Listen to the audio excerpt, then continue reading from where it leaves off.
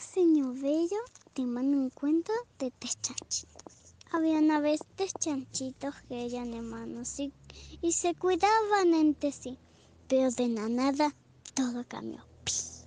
Un nuevo menodiaba en la zona los tres cerditos estaban temerosos de que un día podía ser extraño. Por eso tomaron la decisión de construirse cada uno una casa que se venía de refugio, de refugio si no nos atacaba.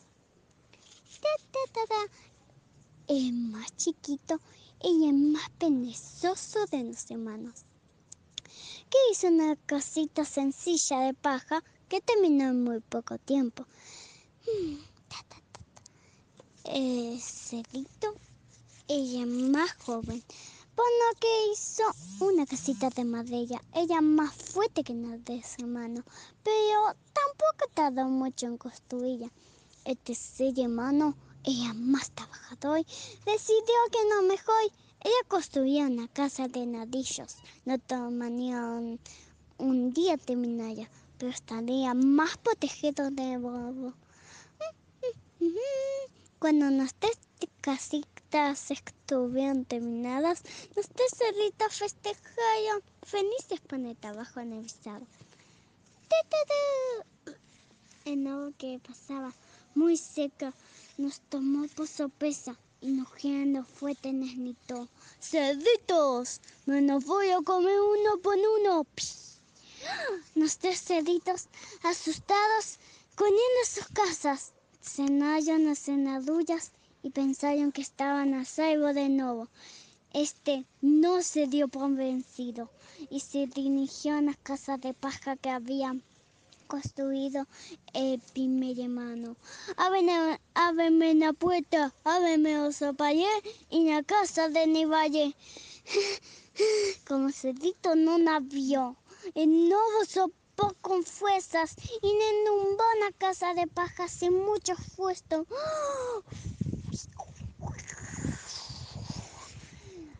El cerdito cogió todo lo rápido que pudo hasta la casa de tercer llamado. Novo, cansado de ambiente, mm, tocando. Ábreme la puerta. Esta casa también de Nevalle. Como los cerditos no la abrieron, el nuevo sopó con fuerzas y inundó una casa de madera. Los dos cerditos apenas pudieron correr y llegar a la casa que había construido el tercer hermano. El, nuevo estaba realmente enfadado. Él decidió comerse a los tres cerditos. Entonces sopló todo no, no, que pudo.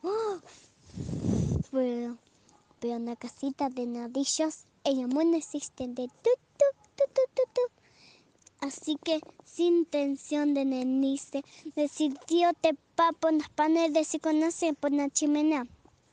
Una vez en el techo, se dejó caer, por la chimenea, sin darse cuenta que los cerditos habían colocado un caldero de agua hirviendo para cocinar un rico guiso de lentejas. Eh, el nuevo lanzó un aullido de no doy, de no doy, salió corriendo y nunca más regresó. Así que los cerditos podían vivir felices, cada uno en su propia casa de nadillos. Te amo mucho, señor Bello, y espero que te guste mucho este cuento. Besos.